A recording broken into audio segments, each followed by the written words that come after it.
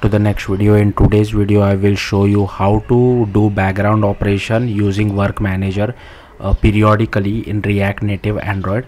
I have already done a video on ios so if you're curious you can watch that video. I've also done a video on for react native android uh, for one time request but this is periodic request. So how it is different from one time request is that so once the user has installed your app for the very first time you can ask the os to perform some background operation when will the background operation perform will be completely determined by your os you can't really control it. But the advantage of periodic work request is that once the user closes the app and if suppose he doesn't open your app for uh, the next 10 days uh, the periodic uh, work request will uh, like it like the name suggests it will happen periodically depending on the os uh, when the os feels like. So that's the advantage as compared to one time uh, request so let's get started. The thing is that this code will remain almost the same irrespective of whether you are using the new architecture or the old architecture of react native. But the disadvantage is that almost 99% of the code we have to write it on the native side uh, because it's very difficult to process some javascript code uh, when you are in uh, when your app is completely closed and you have to perform a background operation so what i'm trying to do is that i'm trying to call, do an api call to a free api service. Once we once i get some data i'm storing it inside preferences data store. So preferences data store is a key value or data store like async storage. And once the open user once the user opens the app after you know few days or few hours like for now i have just kept it as one hour. So but it is not guaranteed that the periodic work request will execute after one hour itself so once you run the app you can close the app and you might check it after five to six hours. Hopefully that uh, might uh, give the OS some time to execute your background operation. Again it can happen it might not happen. But if it has happened then uh, what i'm doing once the user reopens the app i'm fetching data from my preferences data store and showing it on the screen. So that's what we will be doing. So first create a react native project and here you can see that i have created a variable called using use state.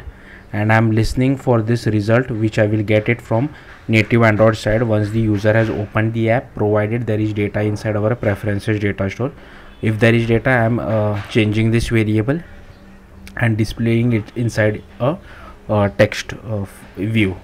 Uh, so now you will have to open the android folder inside android studio firstly you will have to go to build.gradle.kts i have updated the kotlin version to 1.8.20 also I have added this class path for dagger hilt.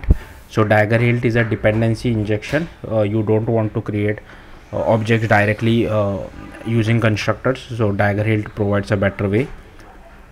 Next go to this build.gradle.kts you have to apply these two bits of code again. Uh, this is for dagger hilt and this is for kotlin kapt so at the time of this recording ksp is still not stable yet.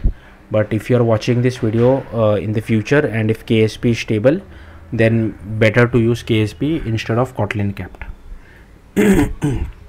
next uh, you will have to add this uh, for hilt. Again dagger hilt for dependency injection.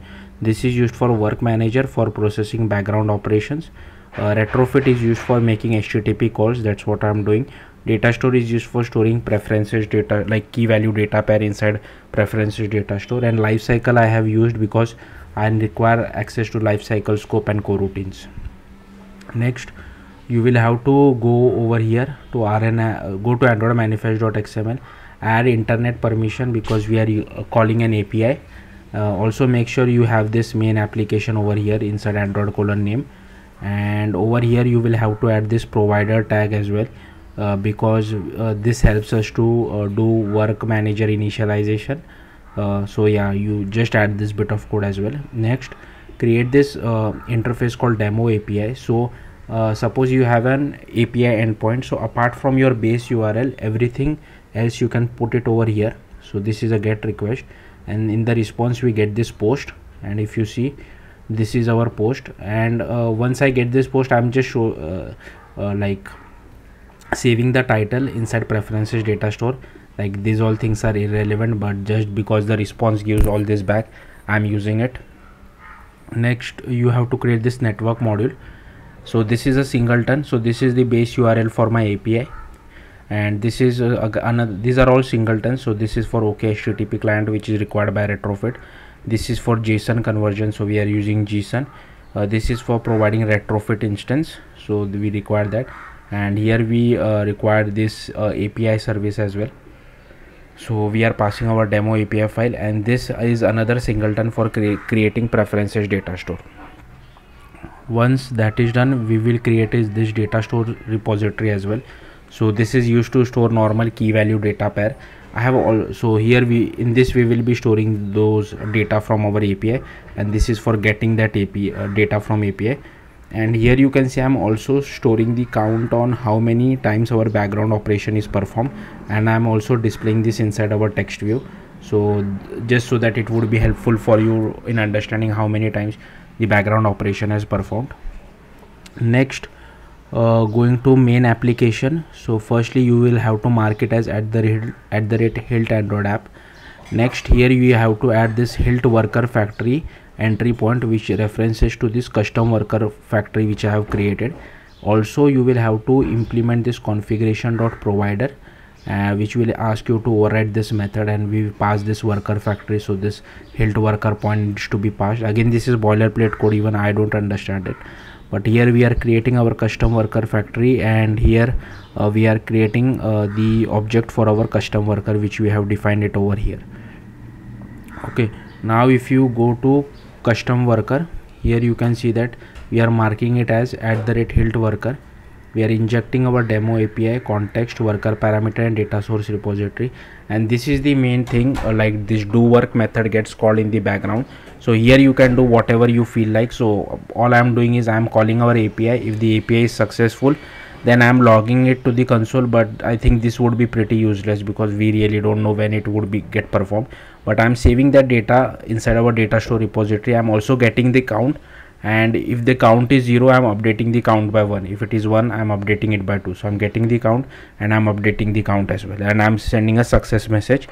Else i'm uh, doing a failure message. Okay. Next what i'm doing is i've shown you this this this this this and this is now coming back to main activity. Firstly you will have to mark it as at the rate and android entry point. It is part of dagger hilt next we are injecting our data source repository. If you have a view model you can inject it via that as well. But just to keep it simple i'm directly in injecting it inside my main activity. And here uh, you can see that i'm passing this periodic work request builder. Uh, and uh, i'm setting some time uh, so when i want to run it i want to run it for every hour. But here i am setting the flex time interval as 15 because uh, it, it means that work will be executed between 45 minutes to 1 hour. Okay. Now you might be thinking instead of hours i'll keep it as seconds. That won't work.